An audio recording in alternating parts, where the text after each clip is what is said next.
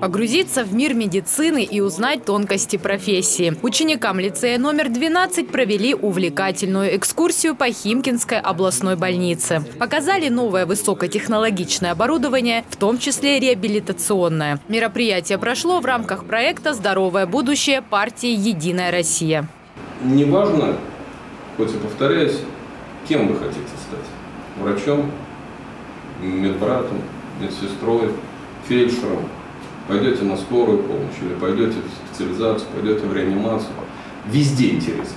По мнению главного врача Химкинской областной больницы Владислава Мирзонова, медицина сегодня нуждается в молодых квалифицированных кадрах. Поэтому такие мероприятия способствуют росту интереса к одной из самых важных профессий, привлекают выпускников школ в медицинские учебные заведения. Сегодняшнее мероприятие, когда мы э, пригласили детей сюда, это рассказать о нашей больнице, наметить пути сотрудничества, показать наше отделение. То есть можно сказать, что это день открытых дверей для наших будущих сотрудников и коллег. Мы реально ждем, ждем молодую кровь, молодые кадры, мы ждем грамотных, э, неравнодушных людей, на презентации рассказали о льготах для молодых специалистов, о возможностях профессионального роста. Далее самое интересное – осмотр отделений, лабораторий и оборудования. В больнице большие возможности для реабилитации пациентов с повреждением опорно-двигательного аппарата.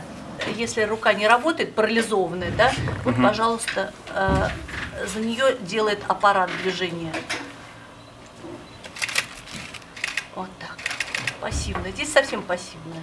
Ребятам удалось не только увидеть медицинские приборы и тренажеры, но и испытать их действия на себе. В больницу попасть можно только по направлению из поликлиники. По-другому сюда не попадешь. У вас выдался такой шанс замечательный. Побывать здесь и сейчас. Не то, что постоять сбоку, посмотреть, а что это там вы делаете такое а потрогать, как это работает. В Химках образовательные мероприятия, посвященные вопросам здоровья, проводят регулярно. Своим опытом делятся доктора и эксперты. В лицее 12 есть профильный класс, медицинский. Большое количество часов как раз-таки дети посвящают химии и биологии. И сейчас э, в ноябрьские дни школьных каникул мы решили провести для них такой увлекательный химико-биологический марафон.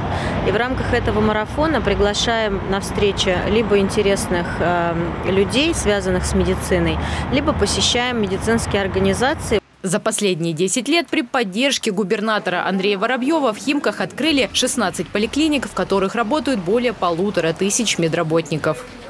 Елена Тараненко, Вильфред Демковский. Новости Химки ТВ.